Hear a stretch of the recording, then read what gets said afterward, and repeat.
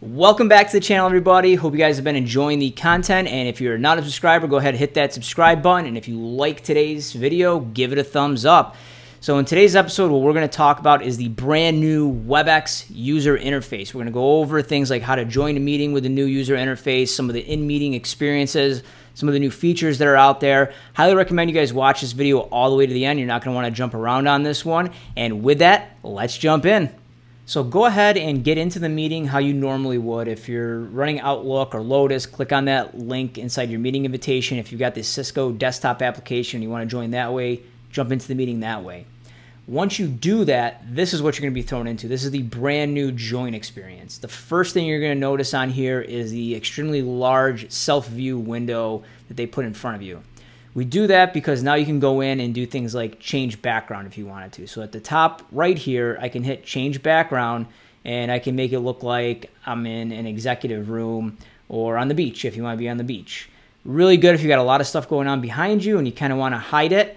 You can do that right from here. You do also have the option to upload your own background image if you wanted to. So you can click that and upload your own image. At the top here too, there is a flip or a mirror. You can click that if you want to be on the left side or maybe the right side of the screen. You can do that. Just be careful with this because when you're mirrored, if you've got a logo or if you've got some writing on your shirt, it may appear backwards, but that is an option now as well. Down below that, we have the use computer for audio. You can click on that if you want to use your cell phone maybe for the audio portion. You can call in. You can have WebEx call you back if you want to do that as well. Or maybe for some reason you don't want any audio, you also have that don't connect to audio option right there.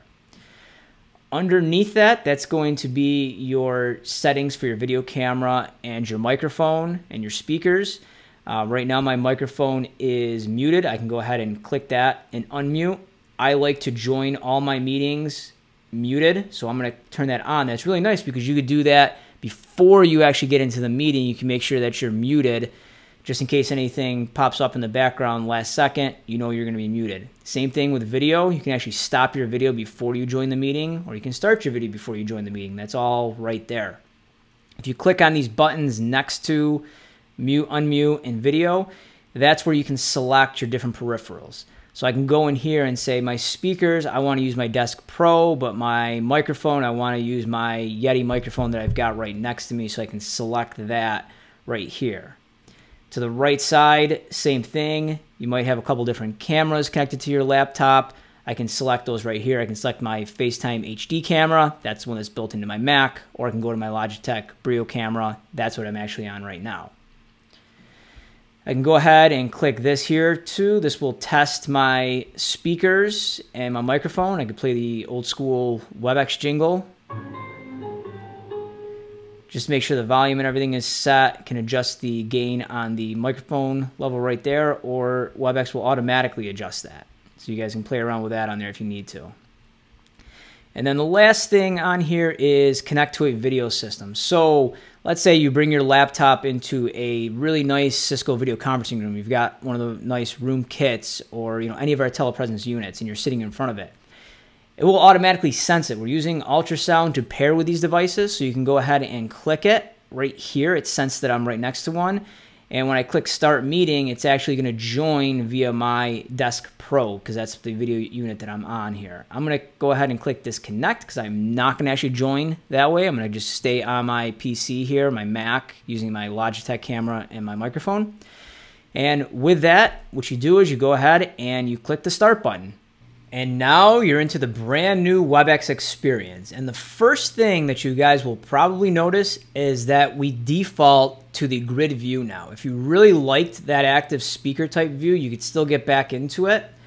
You're just gonna hover over the box at the top here, and you're gonna click on the middle option, and that's gonna take you back into the active speakers. So when Dave here is talking, he's the one that's gonna be big and center on the screen and then the rest of the participants shown the thumbnail view along the bottom here. Switch back out of this, again hover over the top, go back to grid view. The next improvement that you're going to see is that your self view window is actually integrated now into the rest of the participants windows here. Uh, I'm really glad Cisco did this. I think it's a really good update on the user interface and the design here. And you don't have to keep moving around that floating window. If you did really like it and you wanted to go back to it, you can click on the three dots at the top and you can say show myself view in a floating window. And you click that, and then that's kind of that type of experience again. You can click that again there, the three dots, and you can revert back to this type of experience. You guys probably also noted in here couple other options. You could do the mirroring that we talked about before, changing your virtual background, and some camera settings are all built right into that.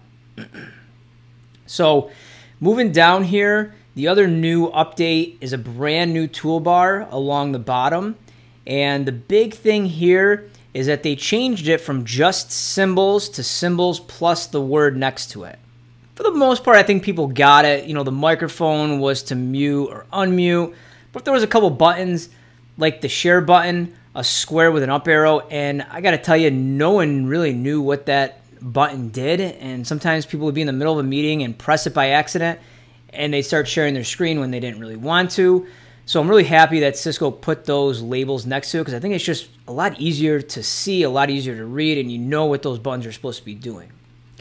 So if we start at the left side of this menu bar, we'll go down the list and we'll show you guys what, what these do. But the first thing here is we have the WebEx Assistant. Newer feature, this has to be enabled by the administrator on the back end for you to be able to use this in your meetings but if you want to turn it on, this is how you would do it. And what the WebEx Assistant is, it's like having your own personal assistant inside of this meeting. So they can take notes for you, they can take action items for you, they can transcribe the entire meeting. Really cool feature. I'm going to end up doing another video on that. Uh, I think it's just going to take way too long to try to get through everything in one video, so that's going to be its own separate one because that could take probably 10 15 minutes by itself. Next to that, we have the mute and unmute button. I can go off of mute and you can see now it actually has a little VU meter in there, so it's no longer just a static button. Uh, it's showing that I am actually talking. I, like that feature a lot because a lot of times if you have like a headset plugged into your laptop and you didn't set it initially to use the microphone on the headset, you might be talking, you might be sitting back a little bit from your computer, you can actually see now if you're actually transmitting audio or not. And if you're not, you have the option to the right side there to, oops, switch over to your headset in case you were on your MacBook Pro microphone. So really nice that that's in there. And you can go back on mute there. Other new feature here. I can hold down the spacebar button and while I'm holding it down, it temporarily unmutes me and I can talk. So kind of like that walkie-talkie function. Uh, if you have to say something really quick, you just want to interrupt for two seconds, do it. Take your finger off the spacebar, you're back on mute. Next to that, we've got the start and stop video buttons. And the little down arrow for that allows you to select and switch between cameras. So maybe you start off on your FaceTime high definition camera built into your laptop but you're also trying to show off a product and you've got a Logitech camera connected to your computer and you want to show that product off. Right in the middle here, I can switch cameras and now my Logitech camera is pointing to the product that I really wanted to show off there. Settings, virtual backgrounds here too. So maybe you started the meeting and you didn't have a virtual background up because it was a quiet day, there was nobody in your room, but everyone's working from home now, things change gets a little crazy behind you, flip on your virtual background or change your virtual background right from that button there. Share would be the next button here. I'm to go ahead and click this so we can show you some new functions here as well. When I'm in the share, the video panel now goes off to the right side. It's still in the grid view there. And we do have this little drop down now. So when you go ahead and you share your screen, you can actually now see what other people are seeing. Really good feature, guys, for people with multiple monitors. I know I, I ran into a situation before where I go to share a monitor and I thought I was sharing the right monitor, but I was actually sharing the left monitor. Now you can go up to the top here and verify, yep, I am sharing the correct monitor that I wanted to, to, to share. Let's stop that real quick here and continue down the list. So record would be our next button there. Pretty self-explanatory. Again, little bullseye with the record button next to it. More options, click that. And this is where I would go in now and switch between my audio options. So I start using voice over IP audio from my computer, but I might need to run out and I want to take that, that call with me, that WebEx with me. So what I'm actually going to do now is switch audio and send it over to my cell phone and have it call my cell phone, have it call my desk phone. That's how you would go in and do that. Connect to a video system. So maybe you start the meeting on your PC, but you're mobile, you're walking around, you jump into a conference room, there's maybe a couple other people in there that want to watch what you're what you're in. You press that, it automatically, guys, senses that there's a video endpoint in that room and switches the call over to that video endpoint, and you don't have to do anything else. Really awesome feature that we have in here. Under that, we've got lock meeting, invite and remind, copy meeting link. Nothing new, nothing crazy there, but maybe in a new spot for you. Red X button, end meeting, leave meeting. That's right there. To the right side of that, I've got the participants button now.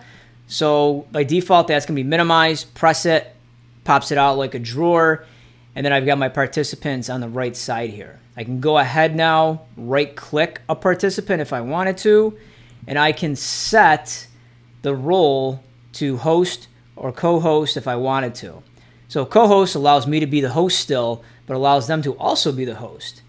Previously, this was known as alternate host, but we changed the nomenclature here to co-host. So just making you guys aware that that's there now, new name for that. While we're in this menu here too, you know, you have the standard type stuff, unmute, mute. new one, stop video. So doorbell's ringing, guy forgets to uh, go off a of mute, or guy forgets to mute himself, you can go in here, mute them.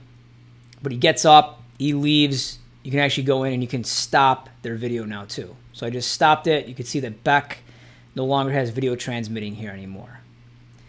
Besides that, we've got the chat feature. Nothing really changed too much on that one. Polling and notes are still built in. Other big new feature here, breakout sessions. So if I go to the top here and click enable breakout session, that's going to take all the people in this room. You got to click the button on the bottom here. It's going to take all the people in the room and create different breakouts. So if I have a room with 100 people in it and I want to divide them all equally into 10 rooms, this is how you would do that.